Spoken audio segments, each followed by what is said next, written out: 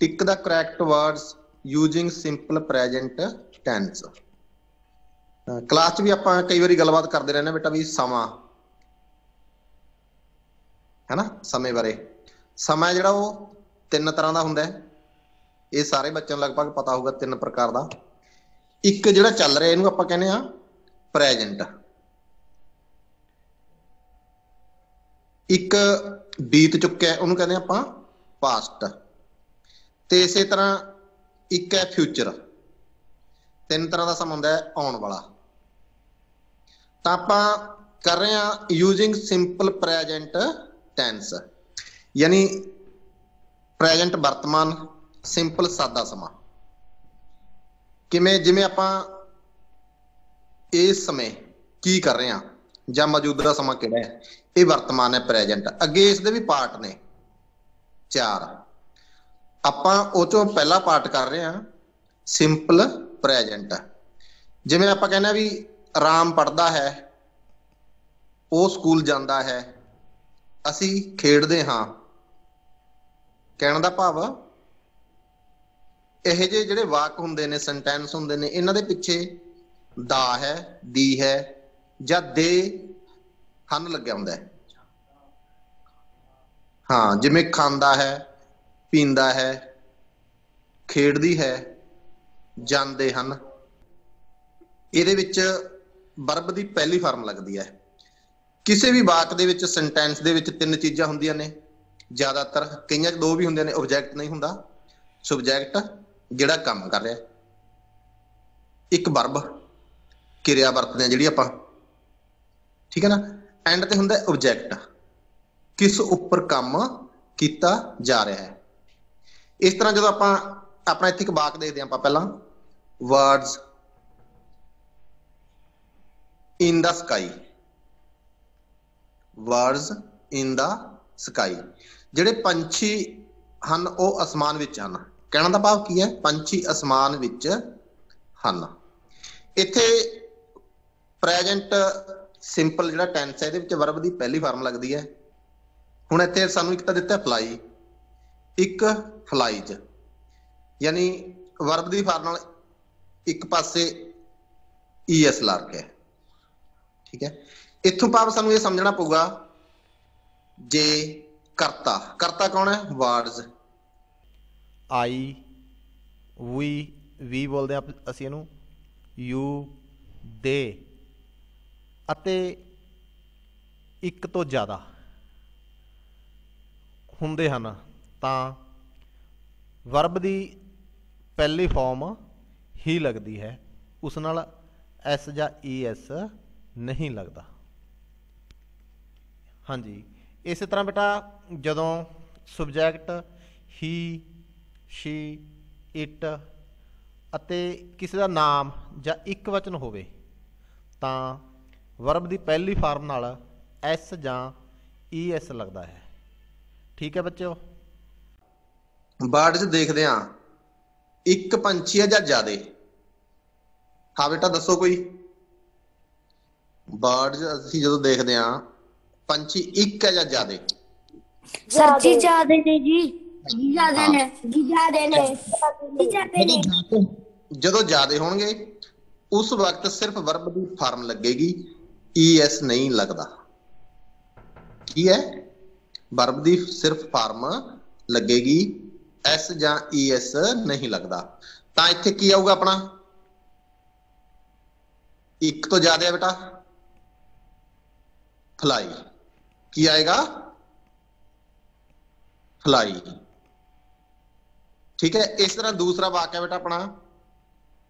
The baby for milk the baby for milk ਹੁਣ ਤੁਸੀਂ ਦੱਸੋ ਬੱਚਿਓ ਕਰਾਈ ਲੱਗੇਗਾ ਜਾਂ ਕਰਾਈਜ਼? ਹਾਂ ਉਹ ਤੋਂ ਇਹ ਦੱਸੋ ਕੋਈ ਬੱਚਾ? ਕ੍ਰਾਈਸ ਬੇਬੀ ਇੱਕ ਹੈ ਜਾਂ ਜ਼ਿਆਦੇ ਨੇ? ਇੱਕ। ਇੱਕ ਹੈ ਨਾ? ਤਾਂ ਫਿਰ ਆਪਾਂ ਨੇ ਫਾਰਮ ਨੂੰ ਵਧਾਉਣਾ ਹੈ ਕਹਿਣ ਦਾ ਭਾਵ ਹੈ ਨਾ? Cries the baby cries for milk. ਇਸ ਤਰ੍ਹਾਂ ਤੀਸਰਾ ਬੇਟਾ ਆਪਣਾ? ਮੋਨੂ ਚੌਕਲੇਟਸ। ਇੱਥੇ ਆਪਾਂ ਸਬਜੈਕਟ ਤੇ ਜਾਣਾ ਹੈ। ਜੇ ਸਬਜੈਕਟ ਹੀ ਸੀ ਇਟ ਜਾਂ ਕਿਸੇ ਦਾ ਤਾਂ ਕੀ ਲੱਗੇਗਾ ਬੇਟਾ? ਫਾਰਮ ਨਾਲ ਐਸ ਵਰਬ ਦੀ ਫਾਰਮ ਨਾਲ ਐਸ ਤਾਂ ਇੱਥੇ ਮੋਨੂ ਕੀ ਹੈ? ਇੱਕ ਇੱਕ ਜ਼ਿਆਦਾ ਬੇਟਾ? ਇੱਕ। ਇੱਕ ਜਦੋਂ ਇੱਕ ਵਚਨ ਹੋਵੇ ਉਦੋਂ ਫਾਰਮ ਨਾਲ ਵਰਬ ਦੀ ਫਾਰਮ ਨਾਲ ਐਸ ਜਾਂ ਈਐਸ ਲੱਗੇਗਾ। ਤਾਂ ਕੀ ਆਏਗਾ? ਕੀ ਆਏਗਾ ਬੇਟਾ? ਲਵ ਲਵ ਚਾਕਲੇਟਸ ਠੀਕ ਹੈ ਨਾ? ਇਸ ਤਰ੍ਹਾਂ ਅਸੀਂ ਸਬਜੈਕਟ ਤੋਂ ਆਪਣੇ ਉੱਤਰ ਦਾ ਅੰਦਾਜ਼ਾ ਲਾ ਸਕਦੇ ਹਾਂ।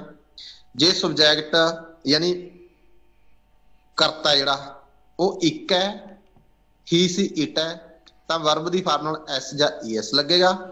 ਜੇ ਉਹ ਜ਼ਿਆਦੇ ਨੇ ਤਾਂ ਆਪਾਂ ਨੇ ਇਕੱਲੀ ਵਰਬ ਦੀ ਫਾਰਮ ਹੀ ਲਗਾਉਣੀ ਹੈ। ਇਸੇ ਤਰ੍ਹਾਂ ਚੌਥਾ ਬੇਟਾ ਆਪਣਾ our school at 9 o'clock open our school ਇੱਕ ਹੈ ਕਿ ਹੈ?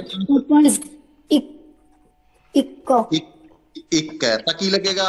ਓਪਨ ਜਾਂ ਓਪਨ ਓਪਨਸ ਦਾ ਹਾਂ ਆਪਣਾ ਉਹ ਲੱਗ ਜਾ। ਵੈਰੀ ਗੁੱਡ ਓਪਨ ਠੀਕ ਹੈ ਬੇਟਾ ਓਪਨਸ ਇਸ ਵਾਲਾ ਲੱਗ ਜਾਏਗਾ। ਇਸ ਤਰ੍ਹਾਂ ਬੇਟਾ ਆਪਣਾ ਅਗਲਾ ਵਾਕ ਹੈ। The teacher the teacher as English ਹੁਣ ਅਸੀਂ ਇਹ ਦੱਸਣਾ ਹੈ ਟੀਚ ਲੱਗੇਗਾ ਜਾਂ ਟੀਚਰਸ ਟੀਚਰ ਟੀਚਰ ਜਾਂ ਟੀਚਰਸ ਕੀ ਲੱਗੇਗਾ। ਟੀਚਰ ਟੀਚਰਸ ਕਿਉਂਕਿ ਟੀਚਰ ਇੱਕ ਹੈ। ਇਸ ਕਾਰਨ ਫਾਰਮ ਨਾਲ ਐਸ ਜਾਂ ਈਐਸ ਲੱਗੇਗਾ। ਓਕੇ ਟੀਚਰਸ ਆ ਗਿਆ। ਇਸ ਤਰ੍ਹਾਂ ਛੇਵਾਂ ਦੱਸੋ ਬੇਟਾ। My friend write writes poems ਕੌਣ ਦੱਸੂਗਾ ਛੇਵੇਂ ਨੂੰ ਬੇਟਾ? ਰਾਈਟ ਰਾਈਟ ਰਾਈਟ ਐਸ ਲੱਗੇਗਾ ਬੇਟਾ ਨਾਲ? ਹਾਂਜੀ। ਹਾਂਜੀ। ਕਿਉਂ ਲੱਗੇਗਾ ਕਿਉਂ ਲੱਗੇਗਾ? ਕਿਉਂਕਿ ਜੀ ਉੱਥੇ ਜੀ ਕਾ ਕਿਉਂਕਿ ਜੀ ਪਹਿਲੇ ਜ਼ਿਆਦਾ ਮਾਈ ਉਹ ਵਚਨ ਬਸ ਇਹੀ ਗੱਲ ਸਮਝਣ ਵਾਲੀ ਜੇ ਤੁਸੀਂ ਇਹ ਸਮਝ ਜਾਂਦੇ ਵੀ ਜਿਹੜਾ ਆਪਣਾ ਸਬਜੈਕਟ ਹੈ ਹੀ ਇੱਕ ਹੁੰਦਾ ਹੈ ਸੀ ਇੱਕ ਹੁੰਦਾ ਹੈ ਇਟ ਇੱਕ ਹੁੰਦਾ ਹੈ। ਜਾਂ ਕਿਸੇ ਦਾ ਨਾਮ ਹੈ ਤਾਂ ਫਾਰਮ ਨਾਲ ਐਸ ਜਾਂ ਈਐਸ ਲੱਗੂਗਾ। ਇਸ ਤਰ੍ਹਾਂ ਬੇਟਾ ਆਪਣਾ ਸੱਤਵਾਂ ਹੈ। ਦੇ ਗਰੋਸ ਫਰੂਟਸ। ਗਰੋ ਹੁਣ ਕੀ ਲੱਗੇ ਗਰੋ ਗਰੋ। ਵੈਰੀ ਗੁੱਡ ਇਹ ਦੇ ਹੈ ਜਿਹੜਾ ਆਪਾਂ ਨੂੰ ਪਤਾ ਹੈ ਉਹ ਲਈ ਵਰਤਦੇ ਆ ਅਸੀਂ ਤੇ ਉਹ ਜ਼ਿਆਦਾ ਸੰਖਿਆ ਲਈ ਵਰਤਦੇ ਆ ਠੀਕ ਹੈ? ਜਦੋਂ ਸਬਜੈਕਟ ਜ਼ਿਆਦਾ ਹੈ ਇੱਕ ਤੋਂ ਉਦੋਂ ਸਿਰਫ ਵਰਬ ਦੀ ਫਾਰਮ ਆਪਾਂ ਨੇ ਲਗਾਉਣੀ ਹੈ। ਵੈਰੀ ਗੁੱਡ ਇਸ ਤਰ੍ਹਾਂ ਬੇਟਾ ਅੱਠਵਾਂ ਹੈ। ਨੂੰ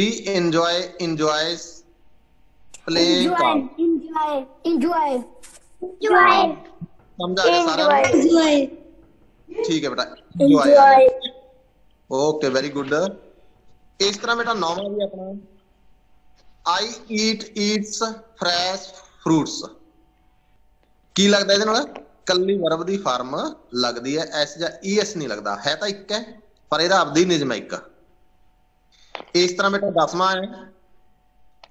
ਦਾ boys singer sing well singer singer singer ਆਪਣਾ ਬॉयਜ਼ ਇਸ ਕਾਰਨ ਕੀ ਲੱਗੂਗਾ? ਸਿੰਗ ਠੀਕ ਹੈ। ਇਸ ਤਰ੍ਹਾਂ ਬੇਟਾ ਥੋੜਾ ਜਿਹਾ ਇਹਨੂੰ ਧਿਆਨ ਨਾਲ ਸਮਝ ਵੀ ਲਿਓ। ਸਾਨੂੰ ਪੁੱਛ ਵੀ ਸਕਦੇ ਹੋ ਤੁਸੀਂ। ਮੈਂ ਇੱਕ ਵਾਰੀ ਫੇਰ ਦੁਹਰਾ ਦਿਆਂ। ਸਬਜੈਕਟ ਕੀ ਹੈ? ਆਪਣਾ ਜਿਹੜਾ ਕੰਮ ਕਰ ਰਿਹਾ ਚਾਹੇ ਕੋਈ ਵੀ ਹੈ। ਸਰ ਸਬਜੈਕਟ ਤੇ ਸ਼ੋ ਕਰਿਓ। ਜਿਵੇਂ ਵਾਰਡਸ ਹੈ, ਦਾ ਬੇਬੀ, ਦਾ ਮੋਨੂ ਆਵਰ ਸਕੂਲ, ਇਹ ਸਾਰਾ ਕੀ ਹੈ ਬੇਟਾ? ਆਪਣਾ ਸਬਜੈਕਟ ਹੈ। ਆਈ ਵੀ ਵੀ ਬੋਲਦੇ ਆ ਅਸੀਂ ਇਹਨੂੰ।